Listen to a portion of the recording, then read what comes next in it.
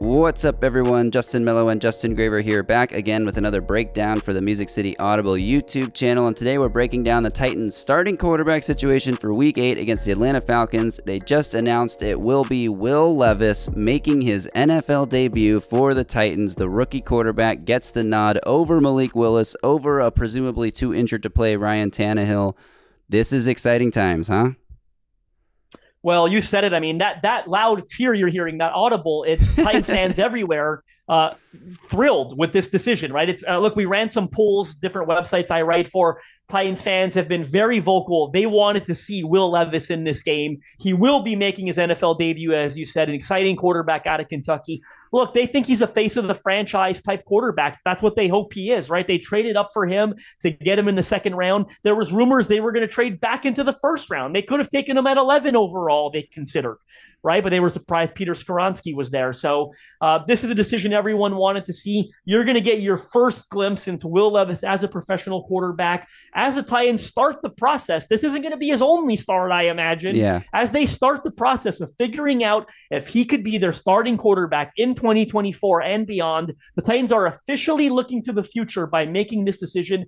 I can't wait to see the kid play. I was higher on him than most Titans fans were that didn't like the pick. Most of them were Vols fans anyway. I was high on him throughout the entire pre-draft process before the Titans drafted him. I liked him coming out of Kentucky.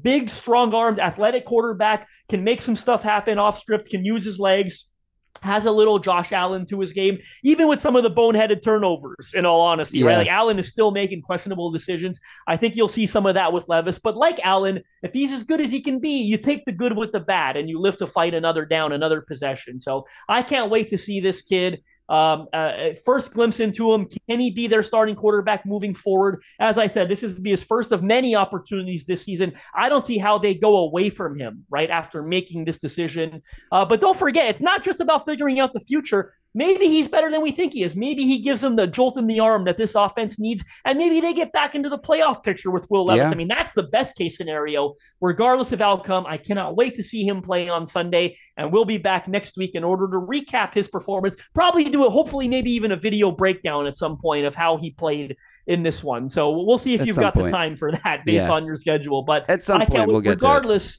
We'll be back to recap his start. I can't wait to see it. Yeah, and speaking of video breakdowns, now's a pretty good time if you haven't ever checked it out. We have a lot of new followers yes. since we posted this a long time ago. Click right up here, top right of your screen. I'm posting it here.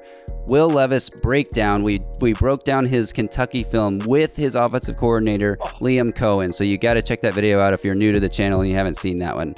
All right. Sorry, yep. before you go, I'm just going to add one of the best things you and I have ever done. By far, sure. potentially the best piece of work you and I have ever produced.